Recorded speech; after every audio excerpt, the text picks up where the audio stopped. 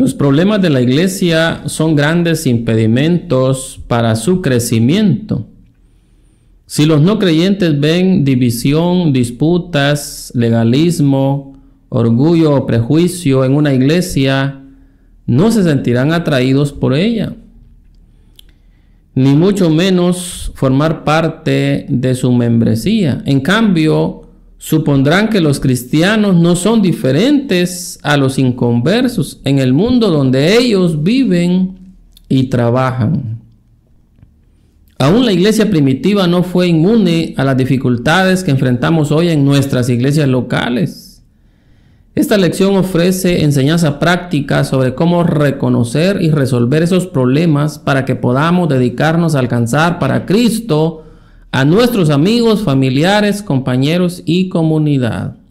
Bienvenidos y bienvenidas a nuestro programa de enseñanza bíblica dominical de esta semana, lección número 26. Por cierto, la última lección de este material, la unidad número 4, la iglesia, que corresponde al 25 de febrero del año 2024 con el tema resolviendo los problemas de la iglesia. Presentamos nuestro programa, Enseñanza Bíblica Dominical. Desde el corazón del mundo maya, para todas las naciones de la tierra. Una señal que viene directamente del corazón de Dios. Porque se ha fundamentado en su palabra, si se humillare mi pueblo.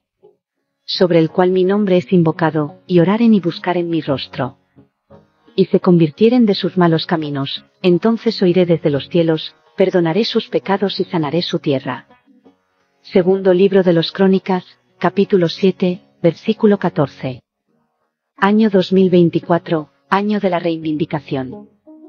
Según el profeta Joel, capítulo 2, versículo 25. Como creíste, te sea hecho, recibamos entonces a nuestro anfitrión, al doctor Melvi Valdez. Señor y Padre Celestial, muchas gracias por la oportunidad que nos das de estar listos y prestos para escuchar el consejo de tu palabra. Ponemos en tus manos este programa, Señor, nuestras mentes, nuestros labios.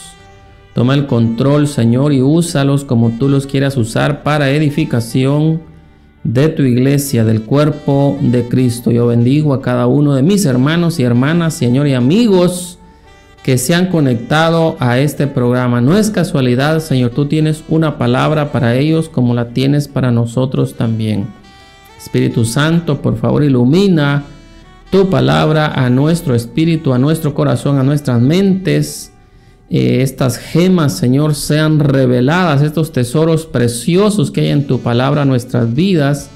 Y ayúdanos a ser, Señor, sensibles y obedientes a tu voz. En el nombre de Jesús. Amén. Estamos mis hermanos ya en la última lección de este material. La próxima semana, primero Dios, estaremos estrenando nuevo material. Ya lo tenemos en nuestras manos. Eh, tenemos esta lección, última lección con el tema resolviendo los problemas de la iglesia.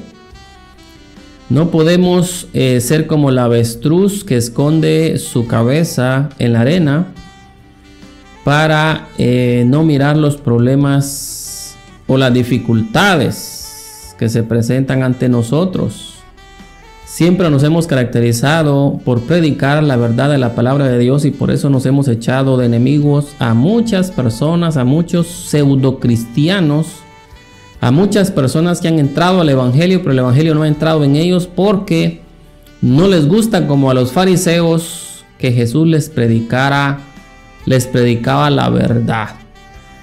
A nosotros pues nos quitaron el privilegio de predicar directamente en el púlpito, pero Dios nos ha abierto esta oportunidad acá. Estuvimos en una iglesia donde nuestro propio pastor nos quitó este privilegio de predicar la palabra de Dios, pero cuando una puerta se cierra, dos y tres se abren. Así que vamos a seguir predicando la palabra del Señor, le guste al diablo o no le guste. De todos modos, no estamos acá para complacer ni a la gente, ni al diablo, ni a nosotros mismos. Estamos acá porque amamos a Dios, amamos su obra, amamos la palabra de Dios y estamos convencidos que Dios nos ha llamado a este ministerio de compartir la palabra de Dios. Así que si usted se cree una ovejita, usted cree que necesita crecer espiritualmente y fortalecer su fe, usted ha llegado al lugar correcto, donde también acá damos consejos de salud que también le van a beneficiar financieramente. Resolviendo los problemas de la iglesia, ¿le gusta a usted resolver problemas? ¿Sabía usted que los millonarios, los ricos, son millonarios o son ricos porque han aprendido a resolver los problemas de la gente? Por ejemplo, eh, problemas de comunicación. Mire, ahí tenemos a las redes sociales, tenemos el teléfono, el que inventó eso, pues se hizo millonario resolviendo una necesidad de la gente que es la comunicación incluso internacional. Eh, alguien que inventó los zapatos resolvió la necesidad de protección a los pies.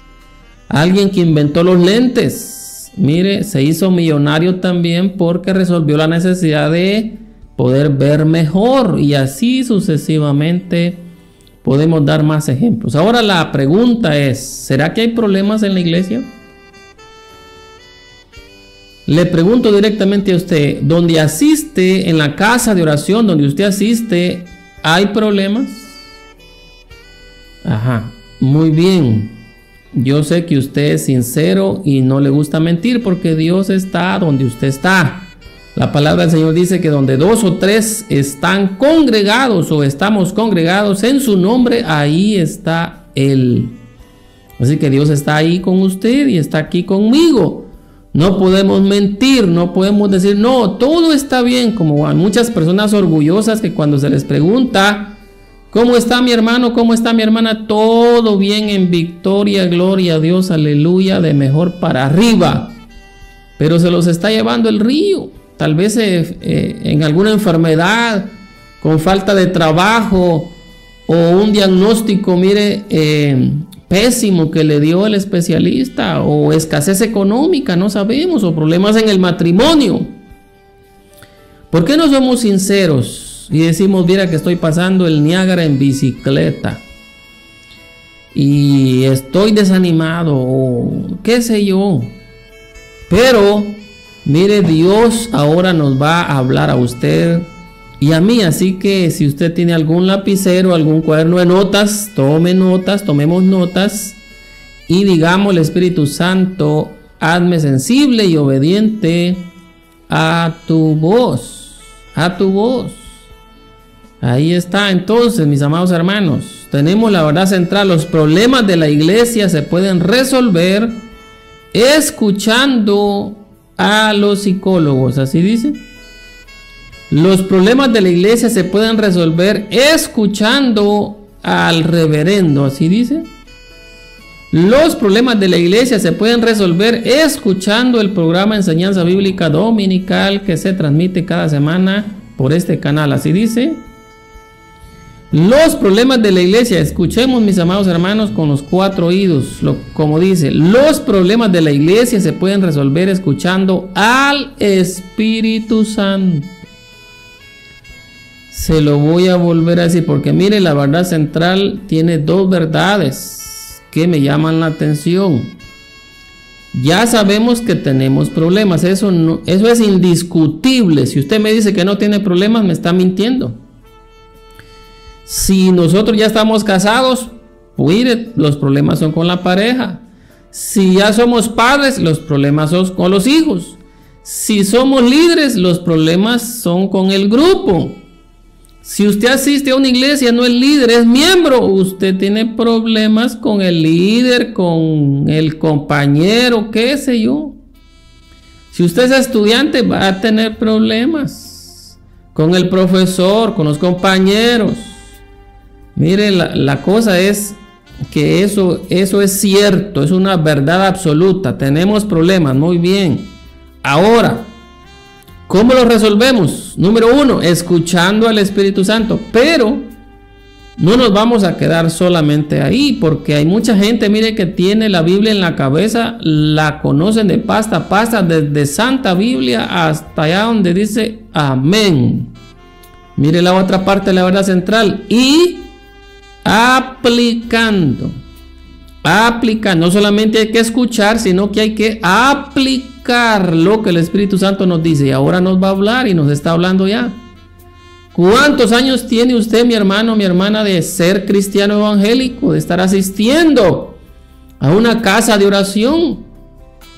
Siempre hemos dicho que acá, mire, este programa no, no sustituye la enseñanza de su pastor o de su maestro en la casa de oración donde usted se congrega. Siempre decimos que acá es una ayuda para aquellos hermanos y aquellas hermanas que por su condición laboral o de salud no pueden asistir a una casa de oración, pero miren, no hay excusa porque el Señor está llegando ahí a esa cama donde usted está postrado. Oramos para que, mire, usted sea un testimonio de un milagro de sanidad en su vida. Pero cuando el Señor lo sane o la sane, miren, no vaya a agarrar para la playa el domingo, para el campo de fútbol, no, es para la casa de oración, mis amados hermanos. Si usted tiene problemas en la vista, mire, oramos para que el Señor le abra sus ojos, pero para que vea las obras de Dios, para que leamos y escudriñemos las sagradas escrituras, no ya más para estar viendo los errores ni los defectos de los demás, de nuestra pareja, de nuestros hijos. Mire, dice que hay que escuchar y aplicar escuchar al Espíritu Santo y aplicar los principios bíblicos. ¿Cuesta obedecer? ¿Es más fácil mandar que obedecer? Por supuesto. Nos gusta mandar, mire, y somos expertos en mandar, pero ya cuando se trata de obedecer, somos fáciles de obedecer o nos hacemos los desentendidos y como que no escuchamos. Entonces, que el Señor nos abra nuestros oídos. Digámosle, Señor Espíritu Santo, abre mis oídos espirituales. Hazme sensible a tu voz y también obediente. En el nombre de Jesús. Amén. El versículo clave dice, primera carta a los Corintios 12, 13. Porque por un solo espíritu fuimos todos bautizados en un cuerpo sean judíos o griegos. Está hablando, mira, el Espíritu Santo y el cuerpo se refiere a la iglesia, al cuerpo de Cristo. Sean judíos o griegos, sean esclavos o libres. Mire qué maravilloso que es el único lugar en el mundo donde no importa quién llegue, si llega un rico o llega un pobre a la iglesia, mire, ahí se iguala el pobre y el rico en la iglesia somos y nos convertimos en hermanos. Es el único lugar en el mundo donde, mire, delante de Dios el hombre y la mujer somos iguales. Es el único lugar en el mundo donde personas, mire, que tienen un estudio académico elevado, ya tienen doctorados, maestrías o licenciaturas, y también llegan personas, mire, que no saben leer ni escribir. Y en la iglesia, mire, nos equiparamos, somos iguales. Ahí llega, mire, toda clase de gente. Llegan los borrachitos, llegan las trabajadoras del sexo, llegan, mire, los mentirosos, llegan los ladrones.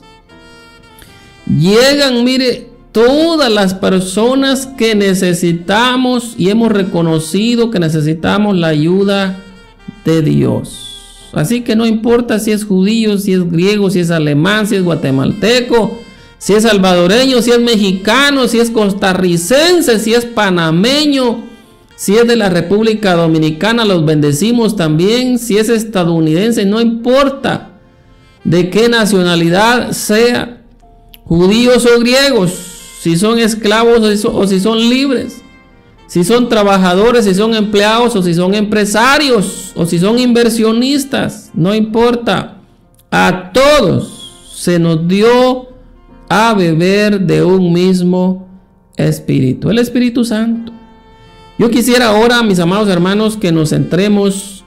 Esta lección es bastante eh, rica, pero quisiera que nos que nos centráramos en lo que dice Apocalipsis 3. Miremos el problema que se está resolviendo en la iglesia en Apocalipsis capítulo 3, versículo 14 al 22. Si usted tiene la palabra del Señor, es una carta a la iglesia de la Odisea. Ahí está, mire, si usted no sabe qué significa la Odisea. Bueno, vamos a leer primero y después les digo qué significa la Odisea. En el nombre de las tres divinas personas, Apocalipsis capítulo 3, versículo 14 al 22, ahí nos está hablando de la mundanalidad y del orgullo.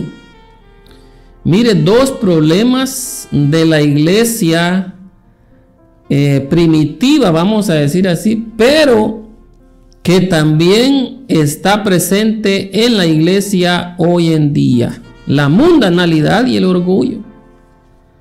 Ahora ya no se, ya, ya no se hay, ya no se mira la diferencia entre un cristiano o una cristiana a una mundana o a un mundano.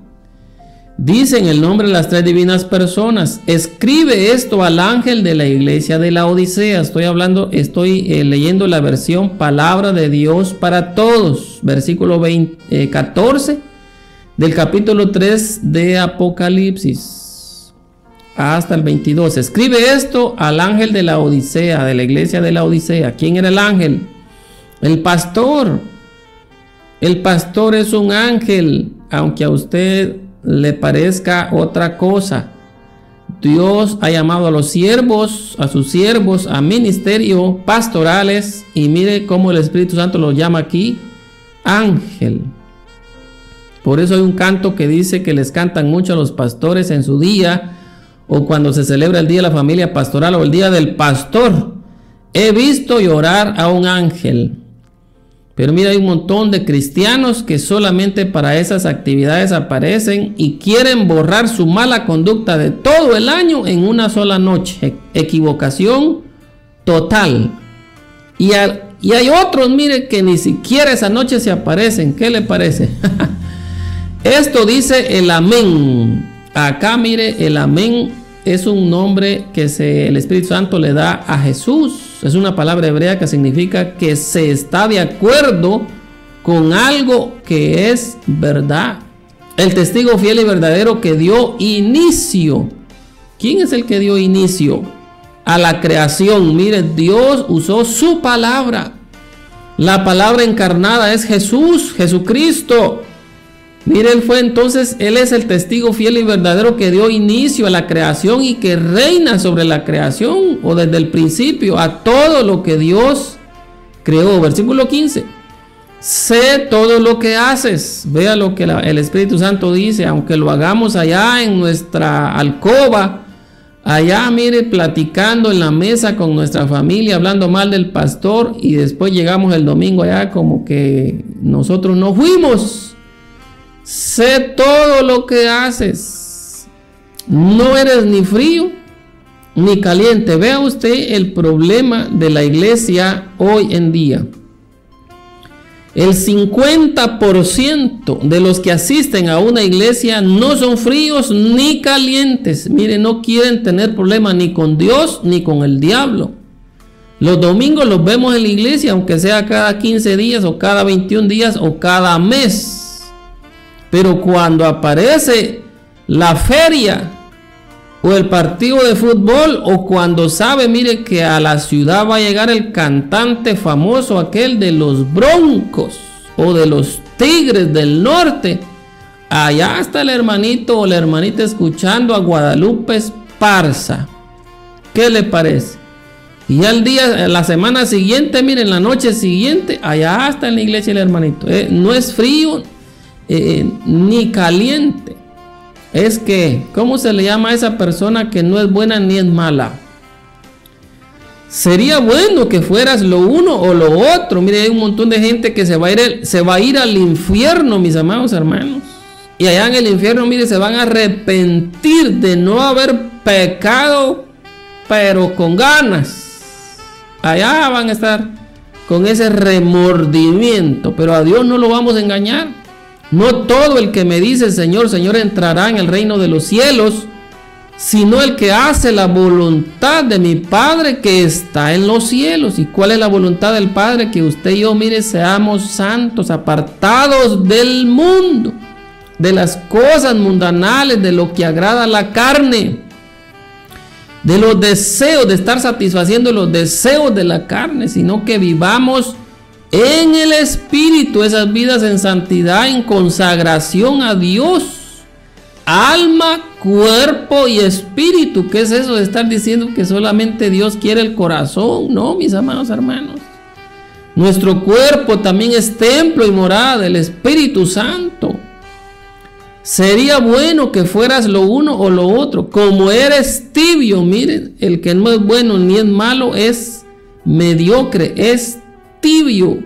Un montón de cristianos en las iglesias haciendo las cosas a medias. Si usted y yo vamos a ir al, servicio, al culto, a la casa de oración y sabemos que comienzan a las 7 de la noche, porque vamos a llegar a las 8, mis amados hermanos. A medio culto, a media prédica. Ya cuando han recibido la ofrenda, mejor me aparezco porque la tentación ahí está. Tremendo, miren mis amados, amados. Y si hablamos del dinero, medio ofrendamos, medio diezmamos. Y si hablamos del perdón, medio perdonamos. Ya se dio cuenta el gravísimo problema que tenemos en las iglesias hoy en día. ¿Y cuál es la solución, mi amado hermano? Ahí lo da el Espíritu Santo de una vez.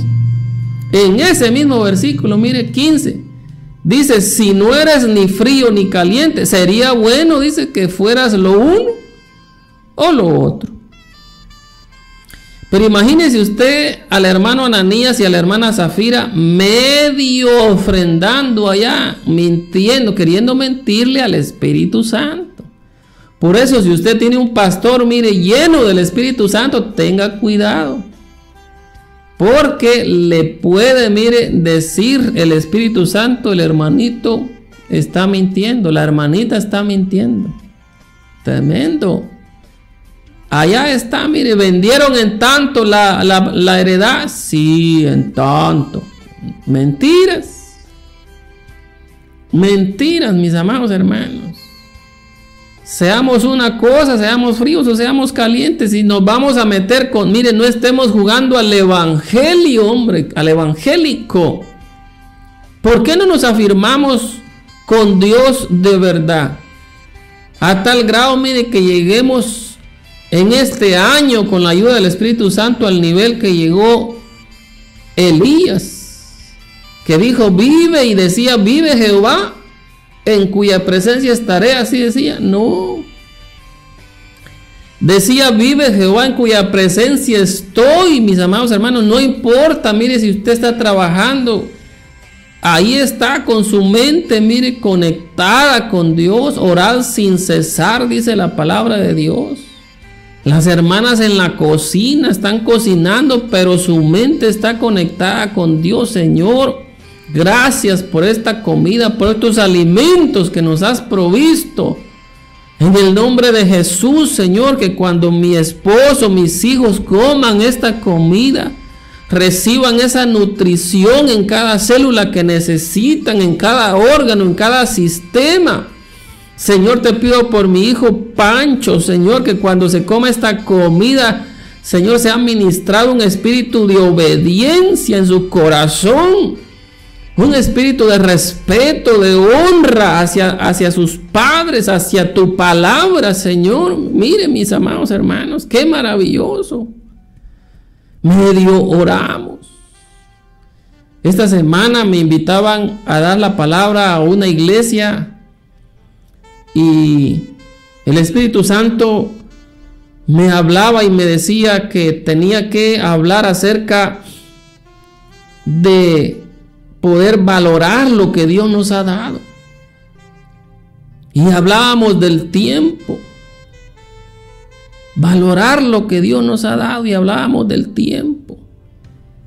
Y como usted y yo, mire, hablando de Eclesiastés capítulo 3, donde dice eh, que para todo hay tiempo. Para todo hay tiempo, tiempo dice de, nacer y tiempo de morir, tiempo de plantar y, o de sembrar y tiempo de cosechar. Y ahí están todos los tiempos. Pero ¿por qué medio oramos? Mire, la gente dice es que no tengo tiempo. Mentira, somos desordenados, desorganizados. ¿Y sabe cuál es la mejor hora para orar, mis amados hermanos? Es en la madrugada. Solo se escucha, mire, los cantos de los grillitos nada más.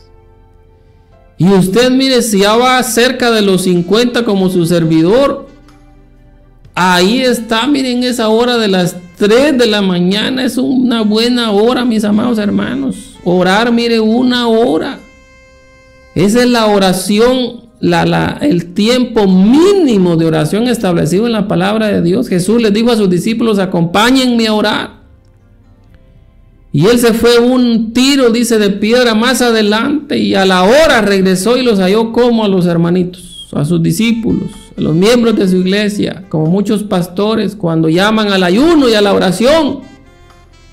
Dormidos, ¿no habéis podido velar conmigo una hora? Tenemos que, miren mis amados hermanos, apartar tiempo para orar pero orar de verdad, no medio orar, mis amados hermanos. Mire lo que dice la palabra de Dios y ahora el Espíritu Santo nos dice a nosotros, este problema de la iglesia de la Odisea era una iglesia tibia. Una iglesia tibia, no, mire, hacía las cosas para Dios a medias, pero ¿sabe qué? Para lo de nosotros, ahí sí no lo hacemos a medias. Si vamos a construir, queremos los mejores materiales. Si vamos a necesitar un albañil, queremos al mejor albañil. Y es que le va a salir más caro, no importa. Queremos un repuesto, tiene que decir Made in Japan. Un buen repuesto donde haya control de calidad. ¿Y por qué no darle a Dios lo mejor, mis amados? Porque para Dios sí, mire, mediocremente. Incluso, mire, cuando se dan ofrendas. Su servidor fue más de 20 años tesorero de la iglesia, donde mis padres eran pastores.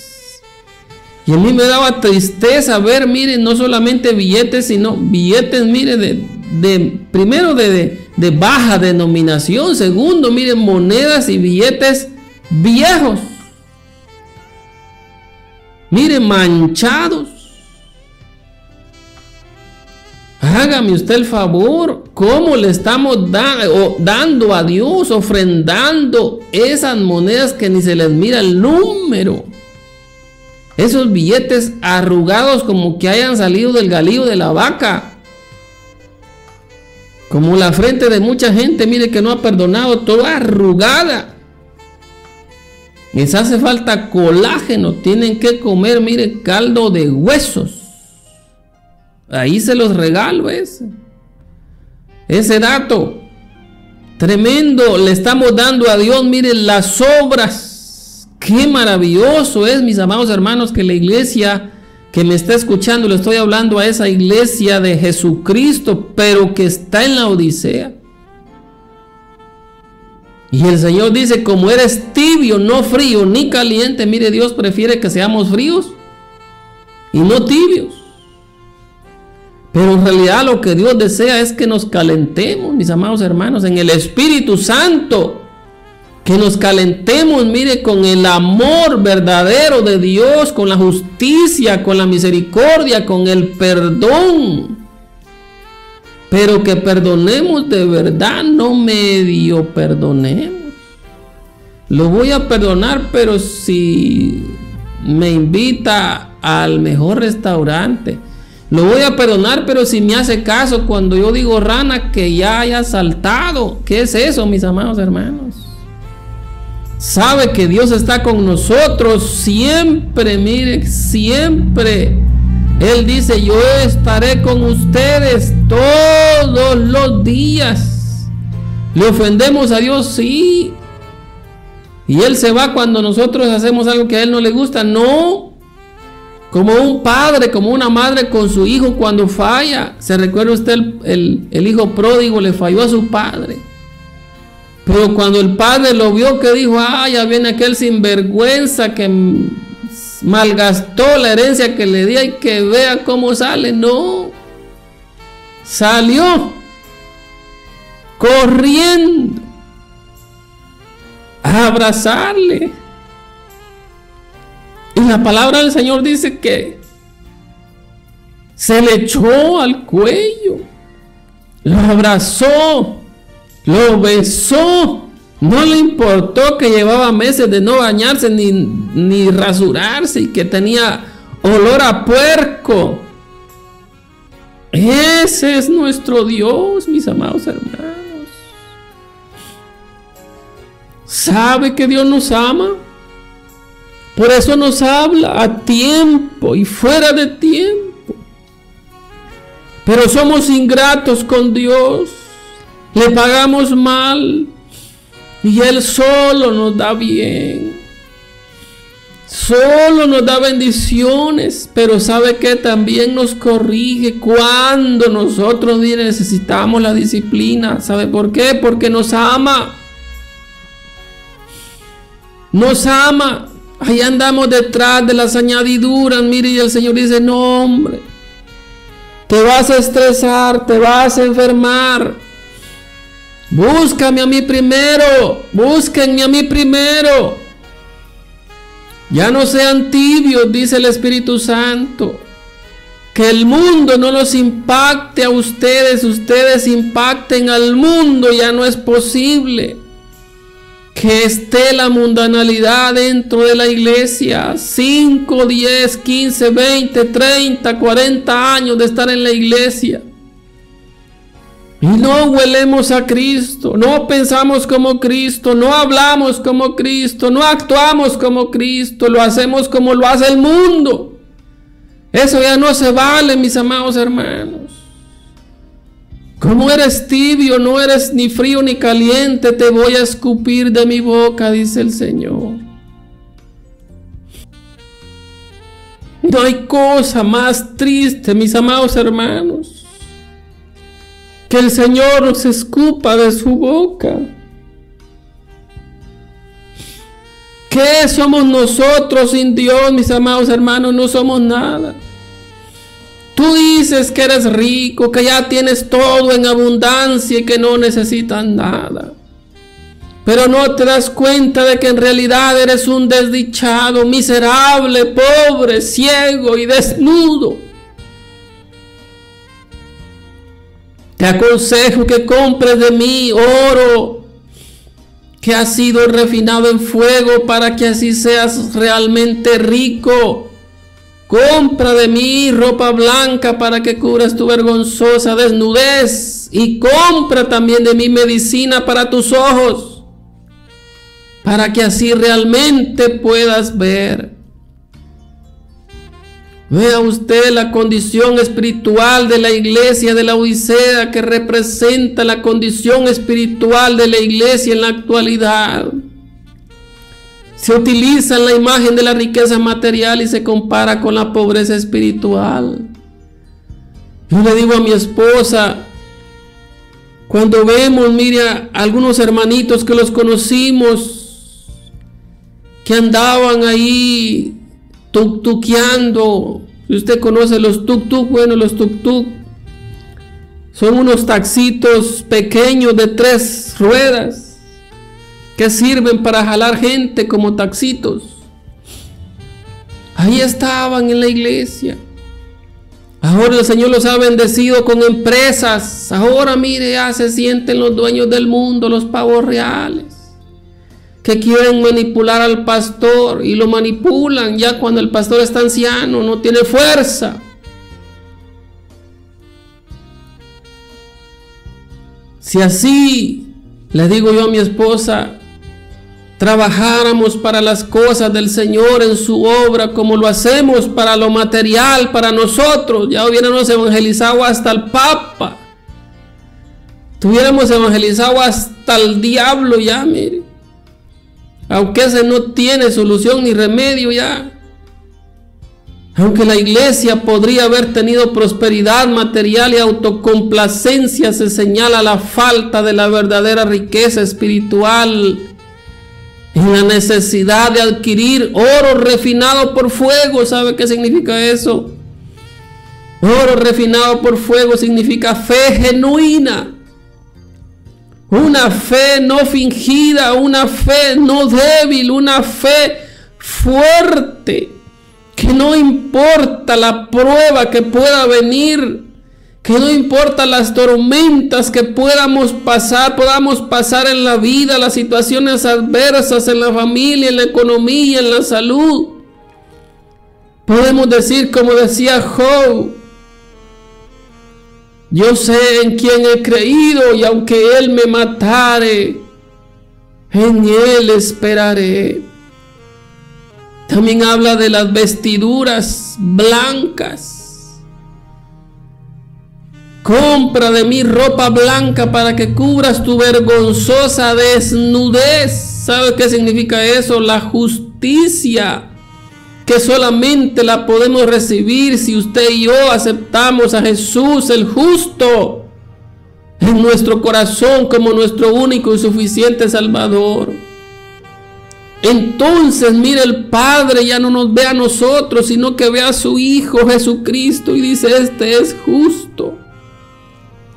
Esas son las vestiduras blancas, mis amados hermanos. Si usted quiere ser tratado con justicia y yo también tenemos que sembrar semillas de justicia.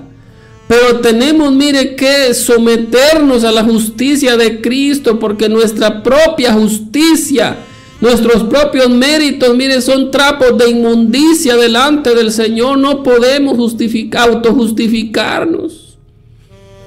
Pero si mire, nos sometemos al sacrificio de Cristo, entonces sí esas vestiduras van a estar blancas. ¿Y qué, más, ¿Y qué más dice el versículo? Y que compres de mí medicina para tus ojos, ese colirio, para que así dice realmente puedas ver, ¿sabe qué significa eso? Significa discernimiento espiritual que tanto hace falta hoy en día, mis amados hermanos.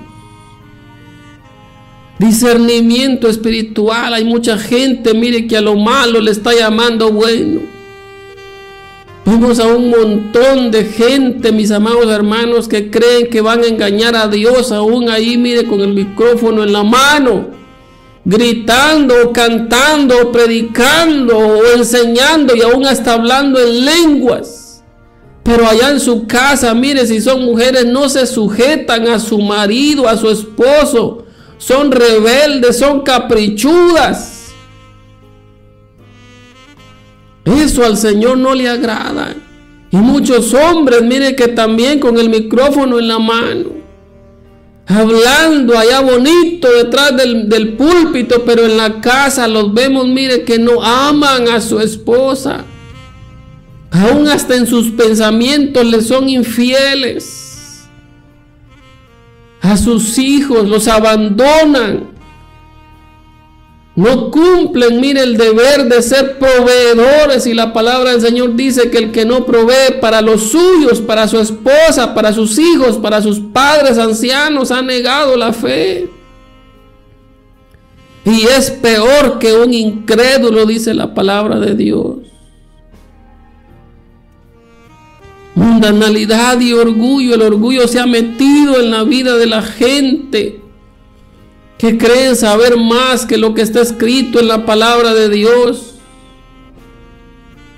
Y no estamos, mis amados hermanos, prestándole atención a la palabra de Dios. Por eso es que viene la disciplina.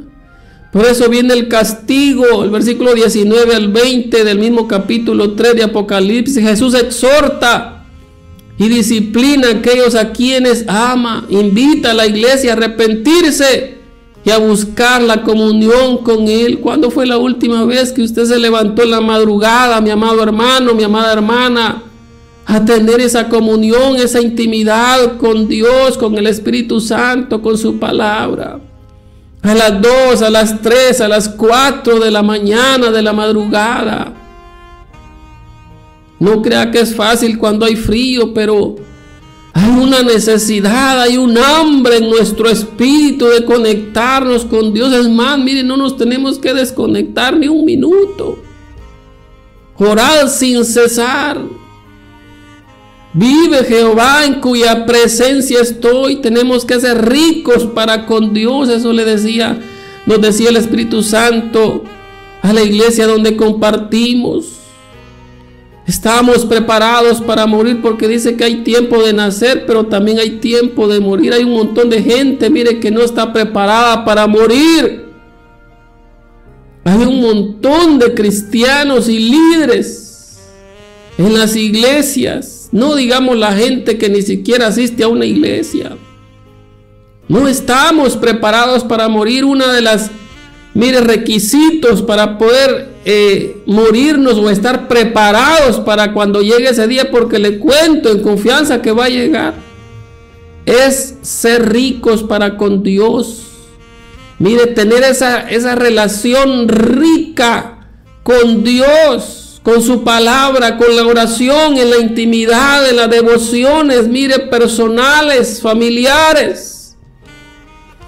Buscar primeramente a Dios y su justicia y todas las demás cosas serán añadidas.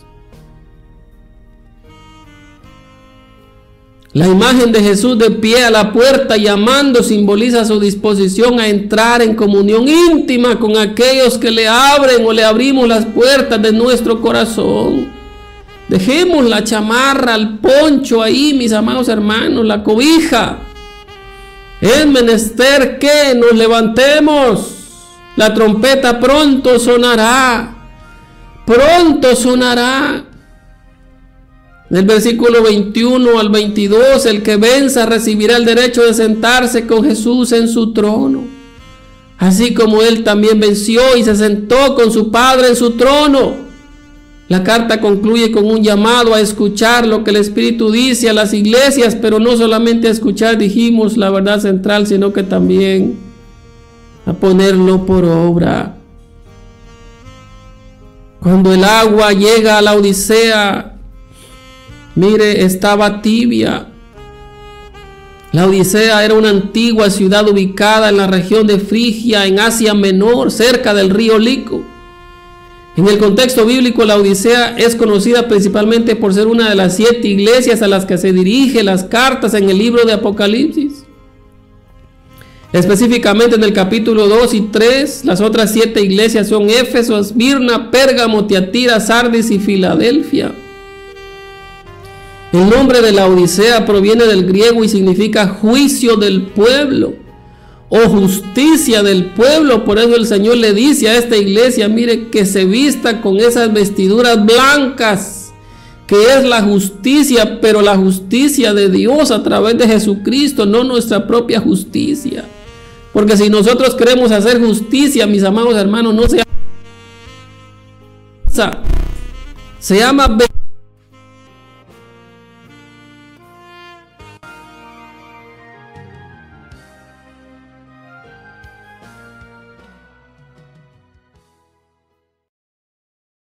Vamos a orar hermanos, y el anfitrión nos invita a arrepentirnos y pedirle perdón al Señor, por nuestra tibieza espiritual. Y por estar buscando primeramente las añadiduras antes que el reino de Dios. Oremos, Padre Celestial, gracias por esta palabra que hoy hemos escuchado. Bendice a nuestro anfitrión Aldiar Melvi Valdez y a su familia. Sigue usando su vida, para bendición y edificación del cuerpo de Cristo, Ayúdanos a vivir esas vidas en santidad. Ya no queremos ser mundanos, ni orgullos, ni seguir más viviendo la vida cristiana en tibieza. Queremos calentarnos en tu Espíritu Santo, en tu palabra. En la oración y búsqueda angustiosa de tu presencia, en el nombre de Jesús, amén. Este programa ha llegado a usted, gracias al gentil patrocinio de Consultorio del H. pylori, Gastritis y Prevención del Cáncer. Medicina homeopática, biomolecular y regenerativa, sublingual e inyectada.